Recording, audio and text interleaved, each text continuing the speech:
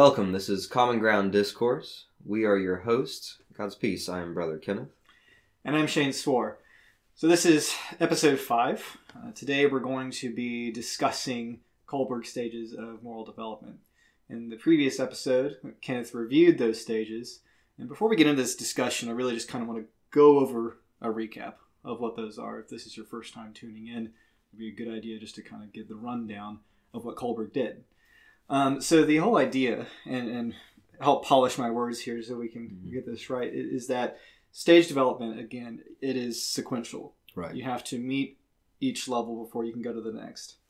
And in his first stage, you have uh, the, the moral development at a younger age, between ages one and or zero and what would you say? Like two or three. It's adolescence, Yeah. essentially.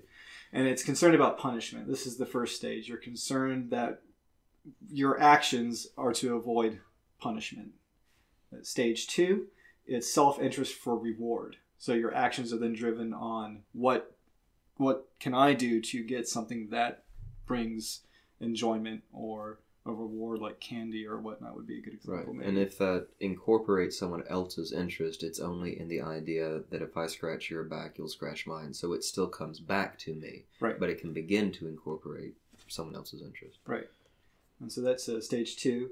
Uh, stage three is about you know good boy, bad boy. Um, you're concerned about the thoughts of what other people think of you. Right. Are you doing right? Do, do you think that they think you're doing right?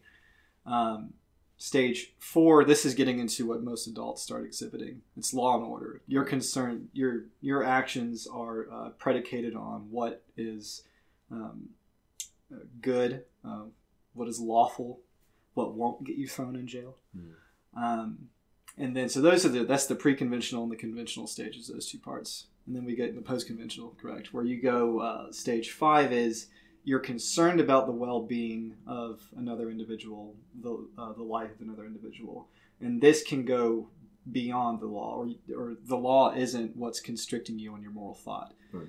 Uh, but there are some cases where the law will restrain you. I think uh, if it gets to be too serious, or if if you, I guess a person may not value life as much. Yeah, well, the idea is in stage four, you're entirely bound by the law because you're born into it, and that's what you think is necessary for a stable society. Yeah, stage yeah, five right. is when you recognize that that law is a social contract, that I have willingly decided to participate in this contract. Yeah. So as long as the law benefits um, or protects me as well as my moral interests, then I will continue to participate. But if there becomes a, uh, a conflict between what is a higher moral law for me, Mm-hmm.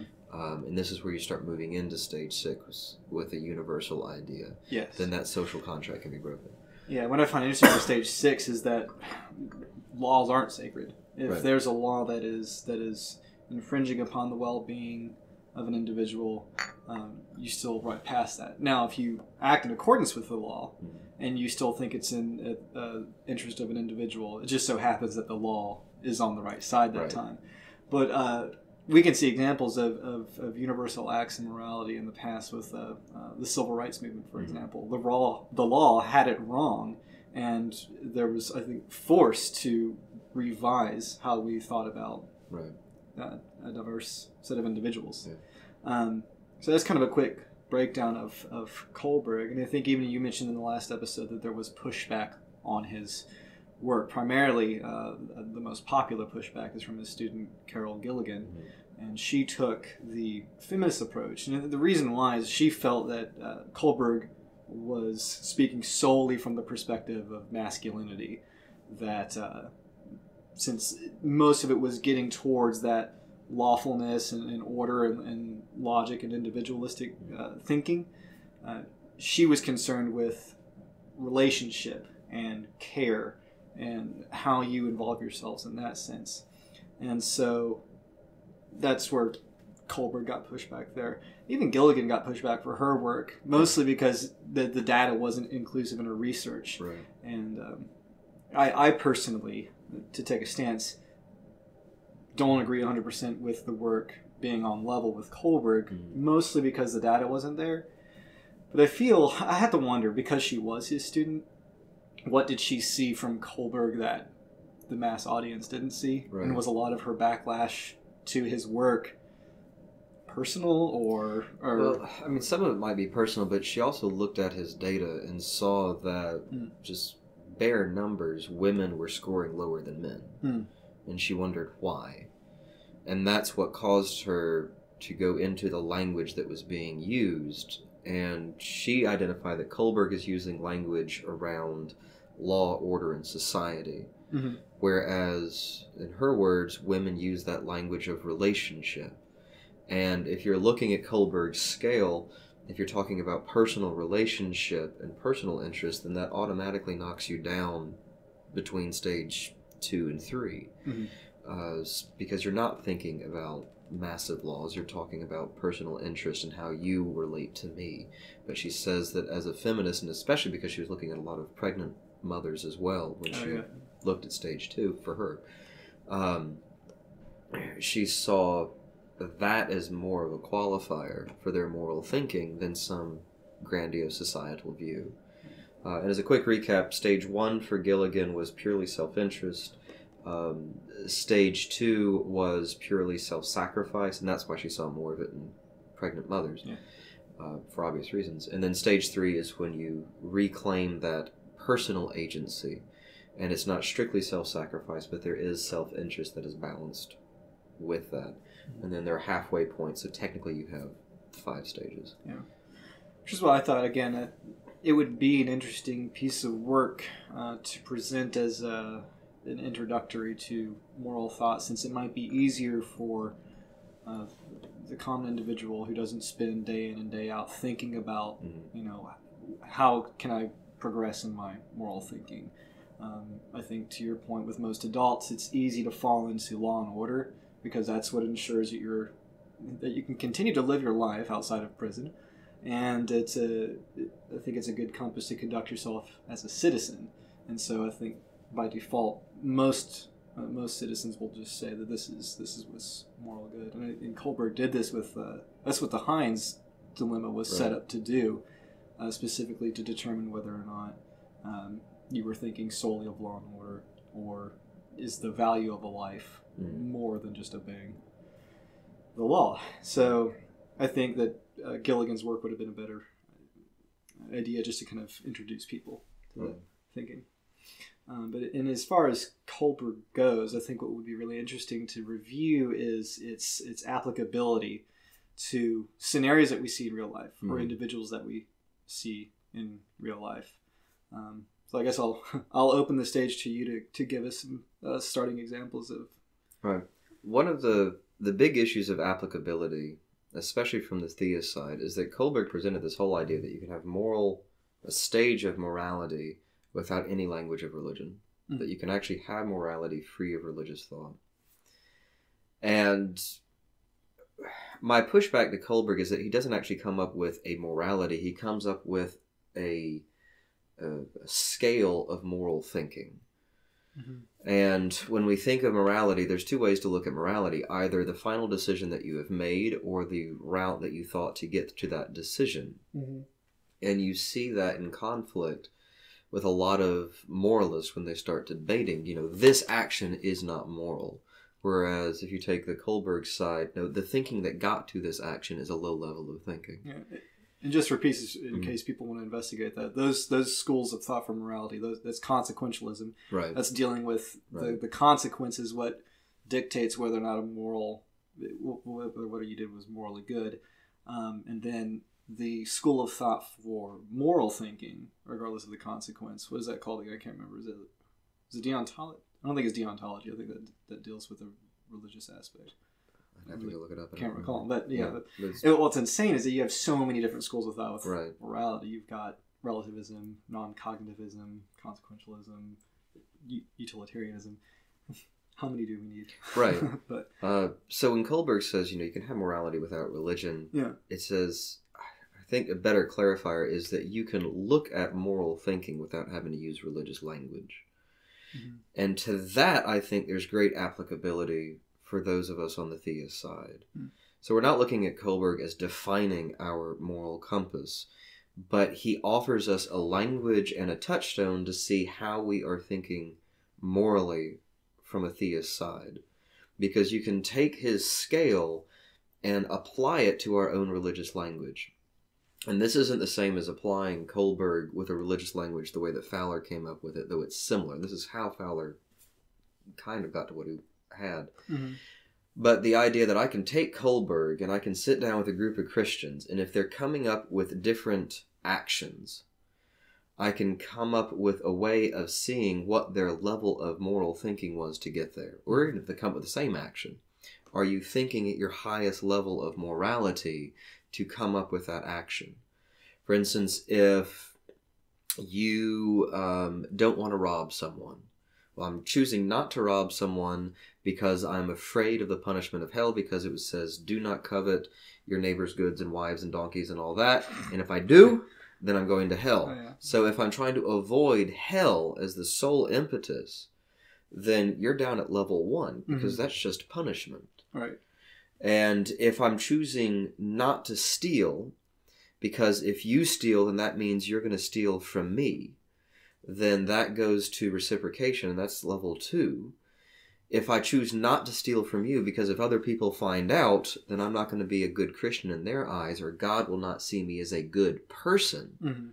in their eyes. And this is when you get into areas of grace, uh, both Catholic and Protestant, but the idea that you have that grace that makes you good in God's eyes. The whole reason you have confession is so as to remove that bad action, restore your grace so you look good in God's eyes. That's strict level three language right there. Mm-hmm.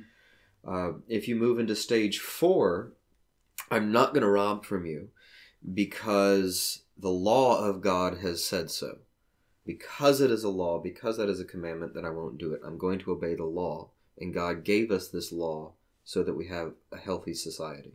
That's stage four. If I'm choosing not to rob from you because I recognize that this is, we are in a Christian community.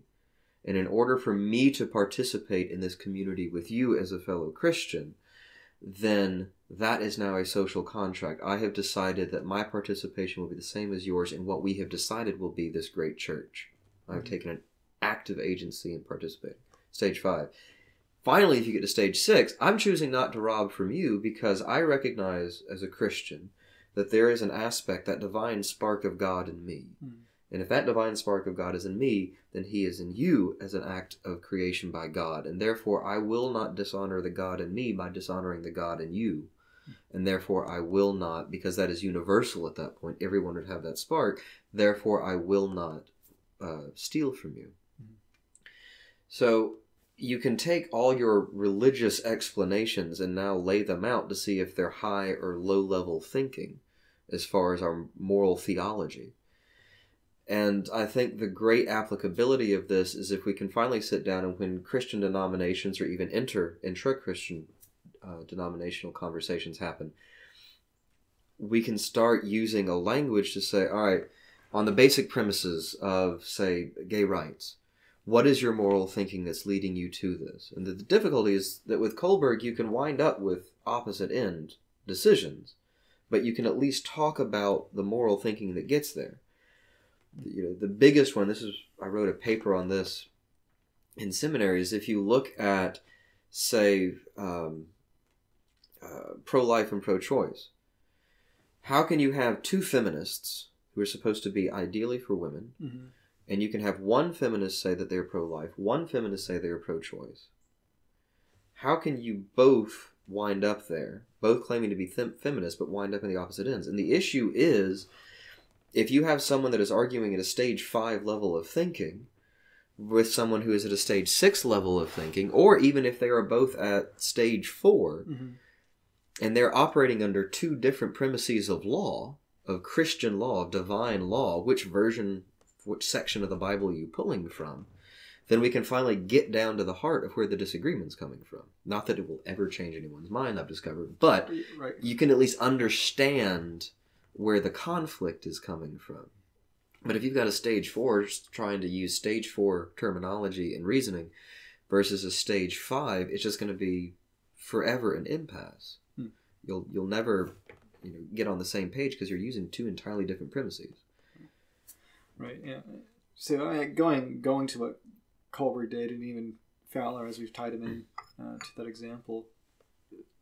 If anything that I can take away from this, what I think to be most important is the identification that it is important to focus on how you're thinking about something rather than uh, what. And I think that's just applicable to so many different things in our Mhm. in our lives. Because again, you can you can hold an idea, and it can sound the same as someone else, but it's it you can truly say whether or not somebody is on the path of moral good by observing how they think, and and and I think we use that in stage. Um, so, would you agree or disagree that as you go up uh, that ladder of, of stage theory, the higher you get, the closer to moral good you are? Holistically, on, on a on a societal level. if we're I have a tough time with that because you could have a whole bunch of people operating at stage six and they're all disagreeing. Mm-hmm. Because you can have two people at stage six that one is pro life, one is pro choice, and the outcome that is happening is clearly different. So again, it comes down to what are we defining as morality? Is ultimate moral good the outcome that happens or the thinking that got us there? Hmm. Obviously, I think higher thinking, higher moral thinking is a benefit to society. Mm-hmm. Well, it'll inevitably determine how you're going to behave. Right. Whereas if you don't think about it, if you don't spend time thinking, But no, if you say behavior, behavior is an outcome. yeah, You can have someone at stage one and stage six that are behaving the exact same way. sure, yeah, So you could have the right behavior, and it doesn't matter what moral thinking you're doing, as long as you're not robbing, whether you're worried about going to jail or because you think someone has a universal right to property. he's doing the right thing. Yeah, your reason. behavior is the same. Yeah. And the thinking doesn't matter.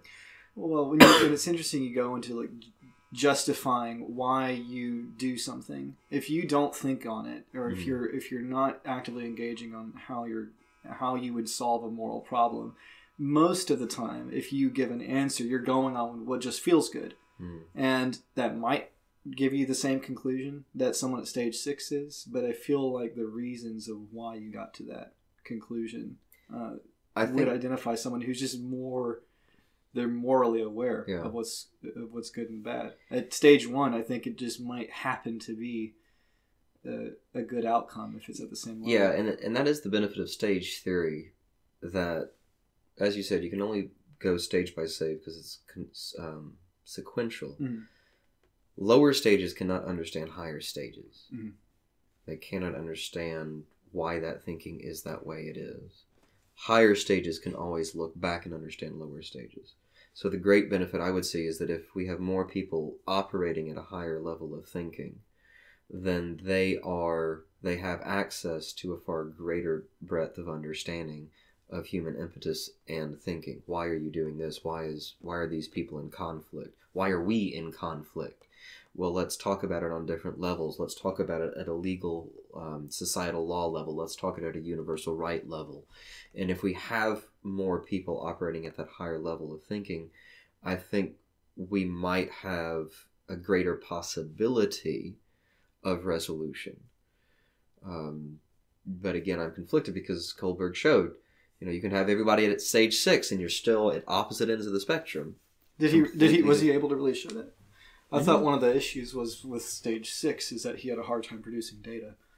Well, the idea, yeah, because I mean, going from stage five going into stage six, that's when the universal right shows up. So even if you have Mhm. everybody at stage five, um, going into stage six, if you have anybody talking about a universal right, then that's your five to six level Hmm. in your transition.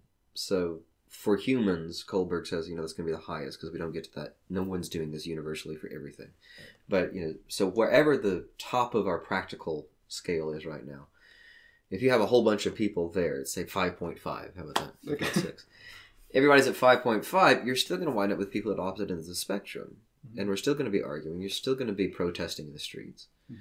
Um, But But, uh, if you can at least identify where your argument is coming from, I think you have better chance at a productive discussion. Hmm. Problem I think is that we have people at five point five versus four or three, Yeah. and they're just sitting there shouting at each other. Well, it's interesting you bring up uh, riots. If we want to provide some examples of, of recent events, Mm. um, where would we where would we put the rioters on, on the stage of, of moral thinking? Now, this is kind of a broad spectrum because we have so many different Right. uh, riots happening. Um, let's just say that the, the march for women. Where would where would you put that? I don't think you can use moral stage theory for Actions. well, not for actions, but for an entire mob Wow. or an entire group. Yeah. Rather than, I don't want to use a negative connotation on that. Yeah. Um, you know, if you have a huge group of people, Kohlberg's moral thinking was for the individual. Um, and unless everybody is using stage five, now they all had the same action, but I have no doubt that in that mass of people, you had people that were operating for the same action from a stage three point, from a stage four point, from a Right. stage five point. Um, Well, then let's go to the individual. Where, Yeah. where, where would we place our dear president?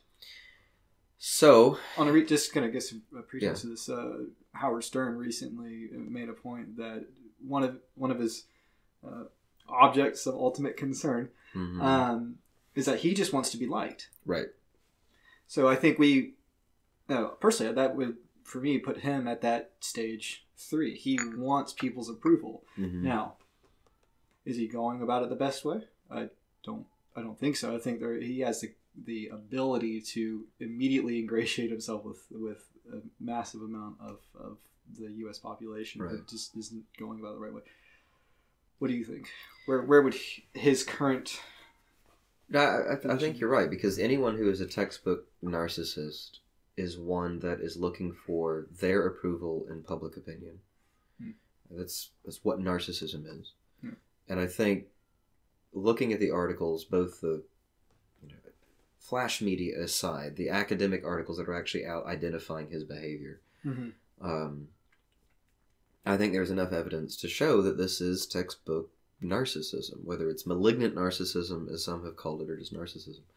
Um, the idea that I am defined as a narcissist by what you think, and that we see him constantly um, playing into other people's opinions. Yeah.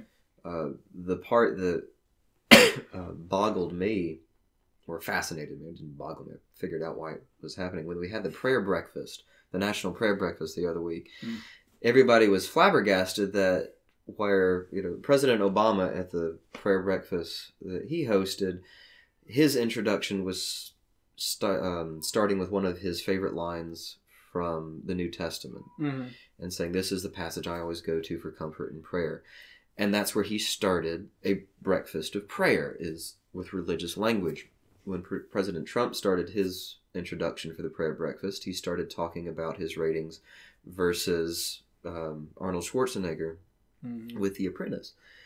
And everyone's just flabbergasted. How can he do this? Well, no, he's if he is operating at a stage three morality, then he needs other people to validate his greatness, and Mhm. that's one area he goes to. And even if we push that to Fowler, if we pull in um, faith, Mm-hmm. maybe his talk about the uh, the prayer breakfast or his Mhm. talk about his ratings at the prayer breakfast was in fact religious for him Yeah. because if you are if we look at the object of ultimate concern Yeah. for a narcissist the object of ultimate concern is your opinion of me Mhm. and while that is idolatrous that is still an idol to which he hol- he is beholden so yes he was offering a prayer as it were to his greatest good or greatest god whatever we're going to say so but i you know back to Kohlberg Yeah. um, I, I think that is uh, stage three. I don't think he can operate honestly because I mean, if you look at the the the executive orders that are being strung out, it's very hard to apply that cohesively or his language about it cohesively to stage four, as far as law and order. Mm. The fact that he's talking so much about protectivism, that we have to protect ourselves, protect ourselves, that's not a legal thing. That's a stage two thing. Mhm. I've got to look out for myself. yeah. Um, I think there's even some examples we can look at where he wasn't exactly thinking about the law first. yeah, Yeah. I mean, yeah, I mean, there's, there's, yeah, clearly there's an absence there. So I, I put him at stage two, stage three at Yeah. this point. Um, you know, one fun place I actually found applicability for this is as a teacher, teaching high school. Most adolescents are stage two to stage three, thereabouts. Um, some going into stage four, if they're old enough.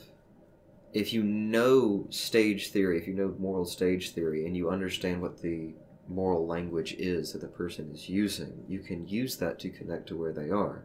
So if I have a student at stage three who is looking at whether I'm a good student or a bad student versus stage four, if I tell them not to do something in a class, and I'm telling don't do it because it's the rules, and they're still operating at stage three, it goes completely over their heads. They don't care about the rules. Hmm. But if I tell them, is this what a good student will do in my class?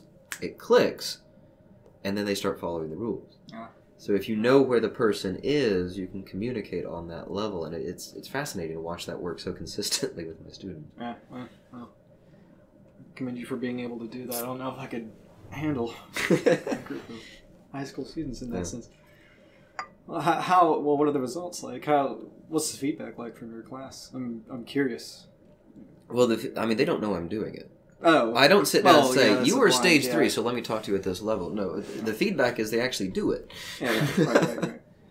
Interesting. Um, but I think, you know, for my side, that's that's really where I see the applicability. We can look at a national level, international level, um, you know, personal work level, and we can see how it helps. For me, it helps me communicate with others to see where they're coming from, and it it doesn't necessarily stop frustration, but at least gives me a route for where the conflict's coming from. Do you see any other areas of applicability in your life? Well, I think I mean we can think of multiple examples uh, for this. I mean, I, I would pay attention closely to politics. I mean, it's uh, politics now seems so disparate from morality and moral thinking. It's almost their their own school of thought. One wonders if to get into a, a position in office collectively, are you operating at a stage six ever? Mm. it might be my lack of understanding everyone in office or, or in the Senate, but uh, what we see, I don't see any good examples Right. of that. Um, but you know, you know, not to spend too much more time on on the applicability of it, I'd like to move into feasibility. This will conclude our discussion at this point on the accessibility. Next, we'll move into the argument or discussion of feasibility in our episode that will be released next week. We do hope you've enjoyed our conversation this week on Common Ground Discourse. Remember to subscribe to our Facebook page and our YouTube channel so you're up to date and will always get the latest information on our releases. But thus far, we hope you've enjoyed and we look forward to seeing you next time. God's peace. Thank you.